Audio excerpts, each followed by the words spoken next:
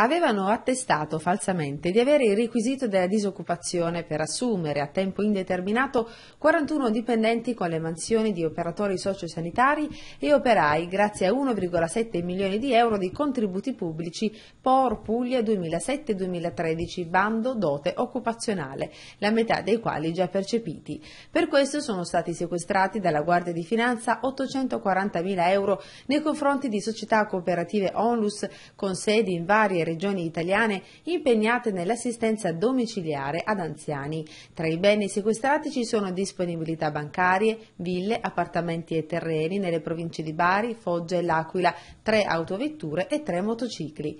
Un primo provvedimento di sequestro di urgenza dello stesso importo era stato eseguito nel dicembre scorso. Secondo le indagini delle Fiamme Gialle, i lavoratori in realtà erano dipendenti di un'altra società che faceva capo allo stesso gruppo e trasferiti formalmente alla cooperativa beneficiaria del contributo pubblico al solo fine, spiega la Procura, di legittimitare la percezione della dote occupazionale. Otto le persone indagate con l'accusa di truffa aggravata.